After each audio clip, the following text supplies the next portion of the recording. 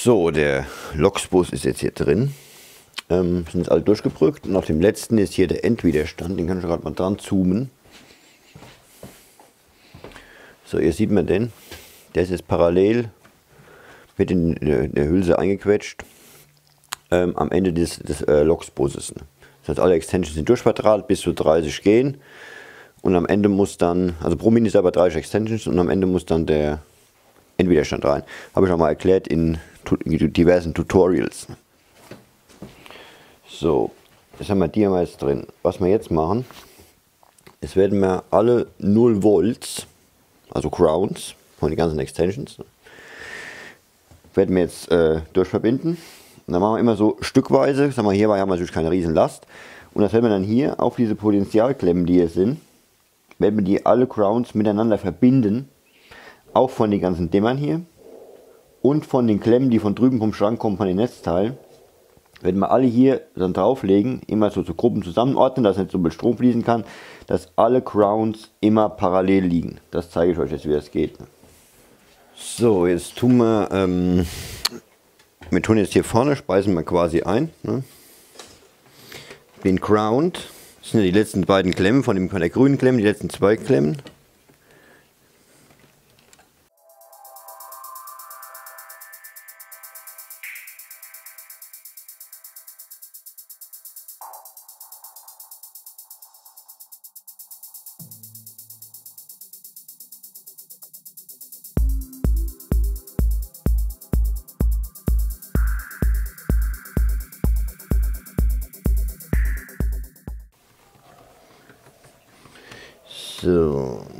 Erstmal die Zuleitung hier vorne. Die legen wir jetzt auf hier vorne. Legen wir auf diese Potentialklemme hier, diese PT-Fix-Klemmen.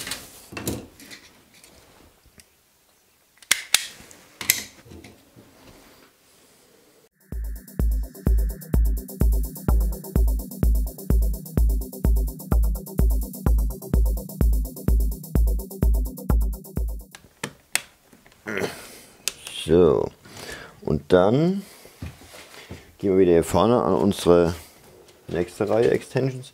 Hier oben haben wir eine sehr geringe Stromaufnahme bei den einzelnen Geräten. Da brauchen wir jetzt keinen Kopf zu machen, dass der Querschnitt nicht reichen würde von der Brücke. Bei den Dimmern sieht das anders aus. Da kommen wir dann gleich zu. Aber erstmal drücken wir die ganzen Dinger hier mal durch.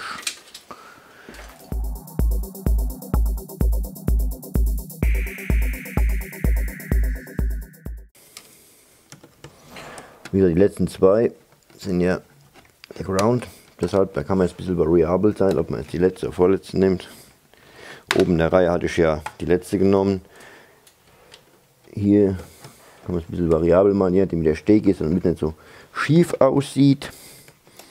Machen wir hier mal ein bisschen variabel. Aber ja, die letzten zwei von der grünen Klemme sind immer der 0 Volt, also der Ground. Und Deshalb mal alle Extensions, Miniserver und so weiter durchverbinden.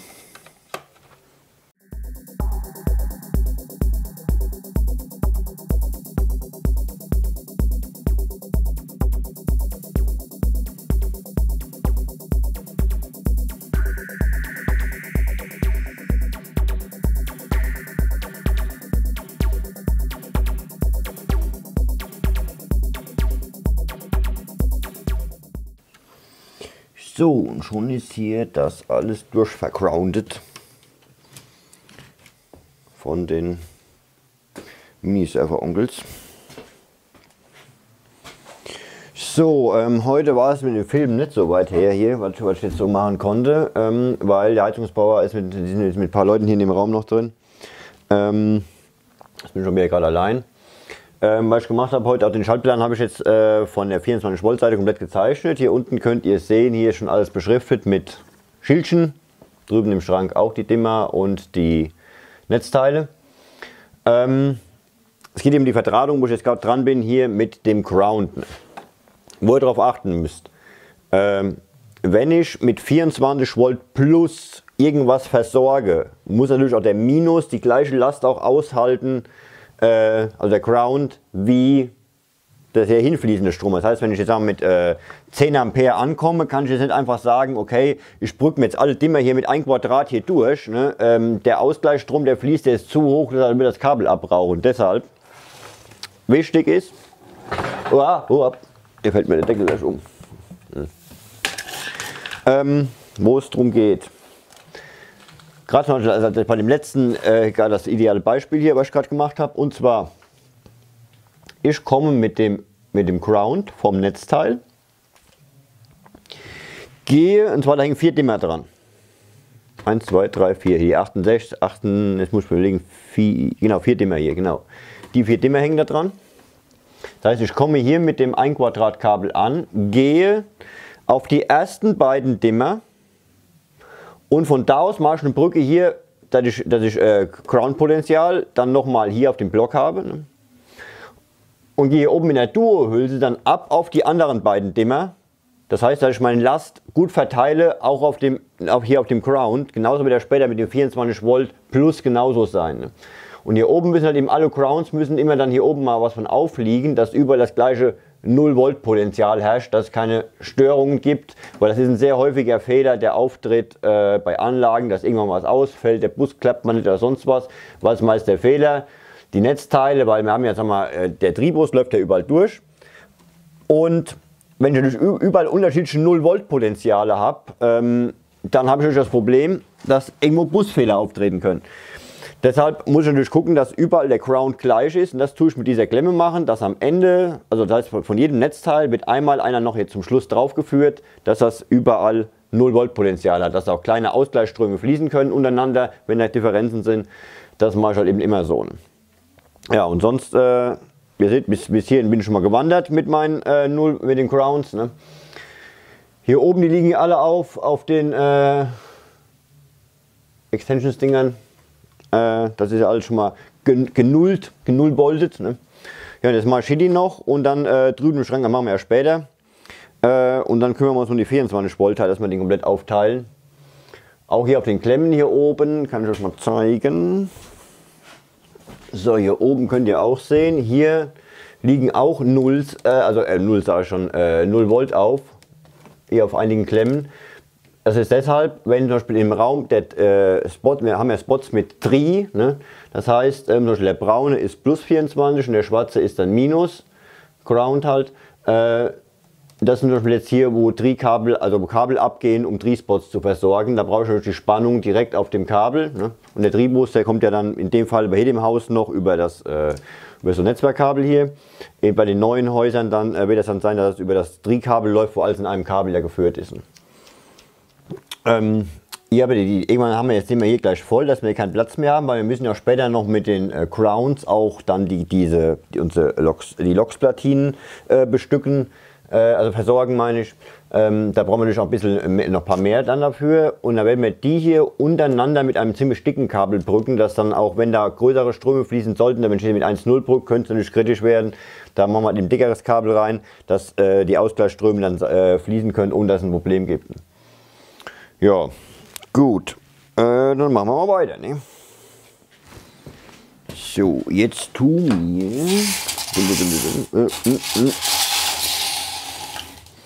Und zwar von der Klemme. Hier oben gehen wir dann mit der Dualse ab und zwar müssen einmal auf die Klemmleiste X69. Das sind ja die ganzen 24 Volt Klemmleisten. Die habe ich immer so beschriftet, ähm, dass die, man sieht, wo die Klemmleiste anfängt. Das ist auch die Stadtseite, das heißt auf Seite 69. Das heißt, äh, die Stadt dann auf der Seite 69. So, dann machen wir es wie folgt. Wir gehen von, von ihm hier, gehen wir auf einen Dimmer.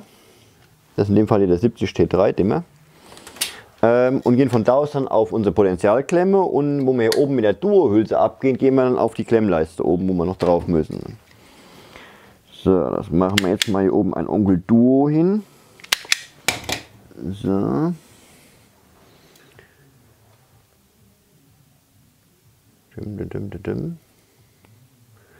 Man muss natürlich immer darauf achten, wenn wir hier mit, wie gesagt, mit den 10 Ampere Trafos arbeiten. 10 Ampere ist schon mal eine Hausnummer. Das ist nicht gerade der kleinste Strom. Ähm, deshalb immer darauf gucken, dass was hinfließt, muss auch zurückfließen. Ne? dass man dann nicht irgendwo das Kabel, das Kabel mal zu warm wird. So. Und hier unten, halt, warte mal, da machen wir erstmal den nach oben. Wo geht er hin? Auf die X69 Klemme 20. Ähm, X. Ne, X69 ist ja geil da oben. Stepp. X69 ist hier ganz hier unten. 69 ist hier unten. So.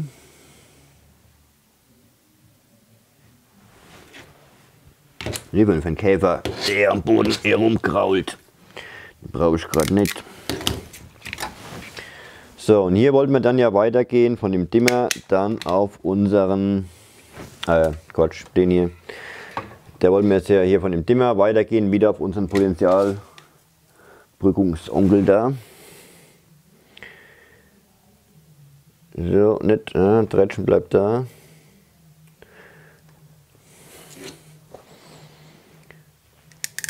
So. Ich hatte heute den Plan nämlich mal ein bisschen gezeichnet, weil ich wollte ja nicht durcheinander kommen. Das muss ja alles passen von der Aufteilung der Netzteile und so weiter. Dass ich dann in einem jetzt komplett das dann durchverdrahten kann, nicht jedes Mal dann irgendwann im Kopf mehr ausdenken muss und danach auch behalten muss, Notizen machen. Da habe ich gesagt, komm, weißt du was, ich zeichne jetzt alles im Detail. Dass äh, wir kein Problem mehr nachher haben. So, und jetzt tun wir noch den hier. Äh, halt hier unten nochmal rein. So. Ähm, hier drauf.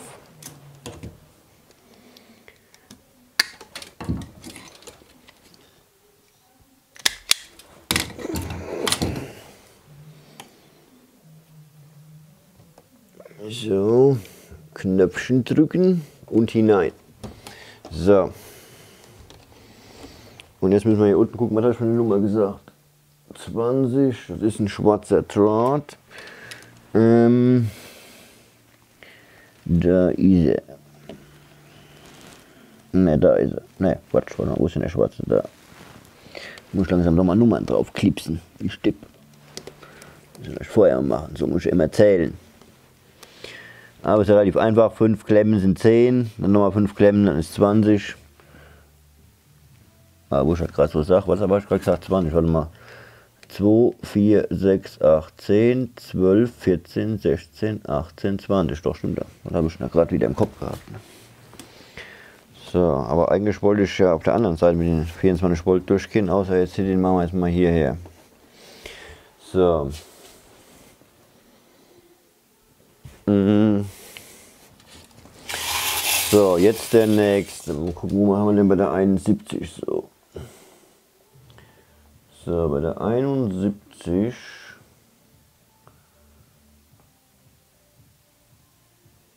Bereich und Gästezimmer unten. Das heißt, der besorgt zwei Dimmer, 71 T3 und 71 T4. So, dann machen wir das auch äh, wieder. Das heißt, wir gehen hier oben von ab.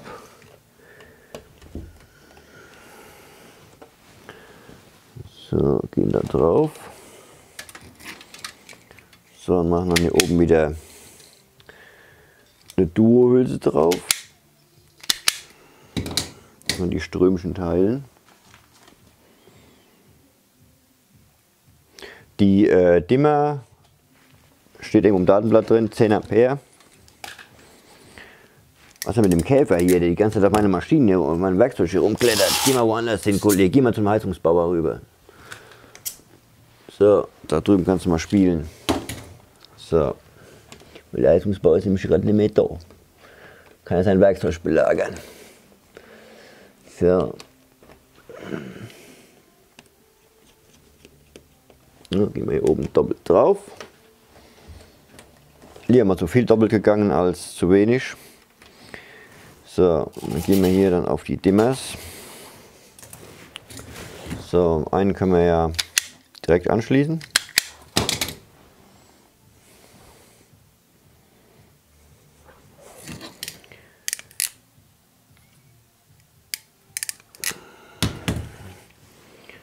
Ist das ja der, der, äh, der Ground ist ja immer die zweite Klemme. Ne?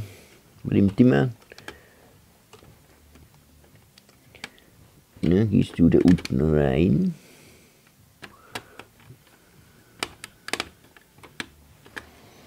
So. Und jetzt brauchen wir wieder die Brücke zum, zum Potentialprüfungsding. Wird schon wieder 100 Hülsen weg, alter Schwede. Weil man nachher die ganzen RGBW-Stripes und alles da vertraten, das gibt natürlich dann Mengen an Hülsen und an, an Drähten nachher. Das gibt ein paar, paar Kilometer. So.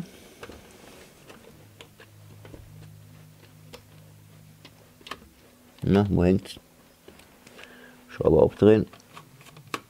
Ja. Und schon ist er drin. So. Und jetzt auf unseren Potentialbrücker.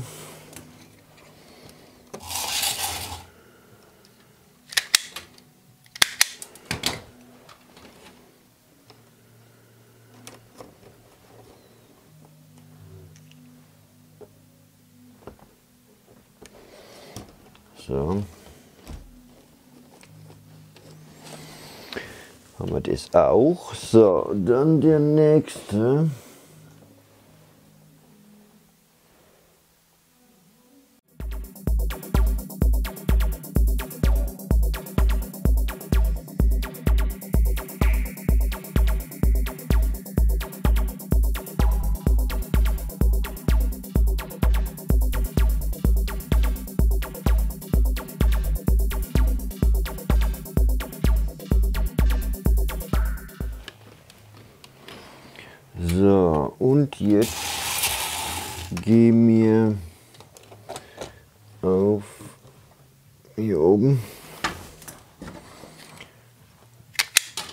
Habe ich diese Zange hier lieben gelernt hier auf der Baustelle. Diese Absolutzange. Also ist jetzt bei den Tagen hier. Sonst habe ich immer mit der Stripax das gemacht, aber hier die ist ja echt geil. Also muss sagen, für die äh, Fälle isoliert die echt gut ab, muss ich sagen. So, gut. Dann auf zum nächsten. So, ich kann die letzten Tage nicht so viel aufnehmen, ähm, weil der Heizungsbauer ist mir die ganze Zeit den Weg rumgesprungen. Der ist jetzt weg. Ähm, ja, was bisher geschah, können wir ja so machen wie in, wie in einem, äh, einer Serie. Also, die Dimmer sind alle hier drin, die Dimmer sind alle verkabelt, die gehen hier durch den, das Rohr durch den anderen Schrank, gucken wir gleich. Dann haben wir hier die Zuleitungen für die ganzen Netzteile vom anderen Schrank und die Ableitungen, sind jeweils ja 20 Stück, die also quasi von hier hinkommen, die 20 mal 230 Volt und Abgang ähm, 20 mal 24 Volt. Und einen guten Teil wird nachher wird erstmal frei bleiben, weil hier die Dimmer, hier ist ein Teil der Dimmer, ist ja hier im Schrank. Ne? Aber da haben wir überall Reserve, dass wir die 24 Volt von den jeweiligen Netzteilen auch drüben haben, dass wir noch was dazu bauen könnten. So, hier sieht es jetzt ganz anders ein bisschen aus, so langsam. Ne? Und zwar, die ganzen 24 Volt Sachen haben wir oben drauf. Jetzt erkläre ich da schon mal im Detail, wie, das, wie die liegen. Also die ganzen gedimmten Leuchten, die auch drüben im Schrank die Dimmer sind. Hier sind ja die ganzen Dimmer für die ganzen Stripes. Ähm, dann habe ich hier angefangen mit den ähm, die ganzen äh, Leitungen aufzulegen auf die neuen Platinen, die Cut-Kabel. Ne? Ähm, dann gucken wir weiter unten. Upsa. Äh. So. so, hier seht ihr auch die ganzen Berge hier an diesen lilanen und grauen Leitungen. Ähm, die ganzen Dimmer sind alle aufgelegt, äh, die, alle hier, die ganzen Kabel, die hier liegen. Ähm, die ganzen lilanen Kabel und grauen Kabel liegen hier auf den Abgangsklemmen. Das heißt, hier war ja hier ist eine 24 Volt Klemmleiste und oben waren zwei. Wo das drauf geht, hier gehen die ganzen 230 ähm, Volt Leitungen ab rüber in den Schrank von diesen 20 Sicherungen hier, die auch beschriftet sind. Ähm, und drüben vom Schrank kommt zurück, kommen hier wieder die 20 Leitungen äh, 24 Volt. Und hier neben dem Block, den ihr drüben im Schrank eben gesehen habt, ähm, das ist ein, habe ich mal ein Reservekabel gemacht mit äh, 12x1,5 für was eventuell noch kommen könnte. So, hier haben wir diese 24 Volt, die 24 Volt Leitungen. Und zwar, hier haben wir zum Beispiel 7 Ader mit äh, 6 Adern. Auf den gemeinsamen, das heißt auf die 1, ne, das sind nachher 24 Volt plus, ne, liegt ein grauer Draht. Ne. Seht ihr unten, ist eine ganze Menge Grau auch hierbei. Ne. Und dann 2, 3, 4, 5, 5 sind dann diese vier Drähte von dem Dimmer, also ähm, RGBW. Ne? Und ich lege das rückwärts auf, das heißt, eins ist der gemeinsame, dann kommt weiß, dann kommt blau, grün, rot. Ne? Das heißt, die Ader Nummer 5 ist der rote, hat eine Stiebebandnis, zeige ich euch jetzt. Und zwar auf den Dimmern hier. Ne? Ist ja die, die erste Klemme ist 24 Volt plus, dann kommt weiß, blau, grün, rot. Daher die Reihenfolge, dass nach einem Schaltplan auch die Linien senkrecht nach unten gehen. Den Schaltplan hiervon, den wird es auf jeden Fall als Download geben von der gesamten Anlage, dass ihr so ein bisschen Überblick habt, weil hier ist ja sehr viel drin. Und deshalb ist die Leitung halt eben auch so aufgelegt. Ne? Und dann, dann seht ihr hier ein Beispiel. Hier sind nur zwei Drähte drauf. Ist, den, den schalten wir um als Vierkanal-Dimmer. Das heißt, wir haben hier die gemeinsamen und haben hier dann nur die Kanal weiß und blau belegt. Ähm, das seht ihr, zeige ich euch oben auf den Klemmen. Wie ihr das seht, da hinten ist eine Duo-Hülse. Ich muss ich halt, ich halt die Kamera, die wackelt gerade ein bisschen, weil ich halte die nur, in der Hand. Weil ich so, hinten eine Duo-Hülse ist da hinten drin. Das heißt, das ist ein warmweißer Stripe und das Kabel daneben an ist auch ein warmweißer Stripe. Das heißt, der graue hier ist durchgebrückt von da nach da. Ne? Ähm, und die beiden lilanen, die da oben abgehen, das sind die beiden unten am Dimmer, das sind zwei getrennte ähm, Kreise warm-weiß. So, dann hier ist ja dieser, dieser 0-Volt-Block hier. Ne? Hier habe ich jetzt mal ähm, vier Adern zusammen in eine 6 Quadrat Hülse gemacht. Ähm, und die sind untereinander nur gebrückt, die beiden. Und hier liegt im Prinzip von allen, ähm, also andersrum erklärt. Hier drüben, Moment, ich, ich zoome mal gerade ein bisschen zurück. So, hier drüben kommen ja unsere ganzen 24 Volt Leitungen an von den Netzteilen drüben. Von hier abgehend geht es ja auf die einzelnen Dimmer von dem jeweiligen Kreis, das habe ich ja dann gezeichnet. Und zu, vom letzten Dimmer gehen wir nochmal hier zurück auf diesen Kreis hier, also auf die, auf die äh, gemeinsamen GNDs, weil alle Grounds müssen ja miteinander verbunden sein. Daran liegt das eigentlich, dass jetzt hier so viele hier drauf kommen. Ne? Ähm, das heißt, immer wichtig ist, die 24 Volt und die 0 Volt, die hier auf den Klemmen abgehen, die vom Netzteil kommen, beziehungsweise oder direkt am Netzteil, ne, erstmal die ganzen Dimmer versorgen, wo die Last drüber läuft und dann den letzten Draht zurück ein hier auf den gemeinsamen, dass wir über das gleiche 0 Volt Potenzial haben. Dadurch kommen jetzt gerade diese Mengen, an die hier noch aufliegen dran. Äh, kommen die her, so.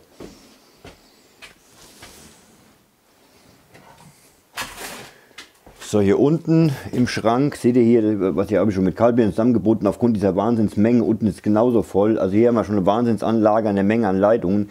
Hier kommen ja nochmal ähm, zwei Kabel 12 x 5, die holen wir von hier drüben, weil da drüben den Deckel habe ich schon zugemacht, aufgrund der Menge, weil er schon voll ist, der Kanal da. Dass wir die anderen Leitungen alle auf der anderen Seite durchziehen, weil da drüben ist voll im unteren Bereich hier. Ähm, dass wir die anderen noch von drüben herziehen, weil es gibt natürlich noch offene äh, Klemmen, wie man hier sieht. Hier oben ist noch was frei ähm, was rüber geht zur Sauna und zum äh, unter der Treppe. Und da kommt noch von der Haustür kommt da noch eine Steuerung hin und so weiter. Deshalb ist da gerade noch ein bisschen Luft auf manchen Klemmen. Das wird dann noch aufgefüllt, sobald das da drüben fertig ist. Ne?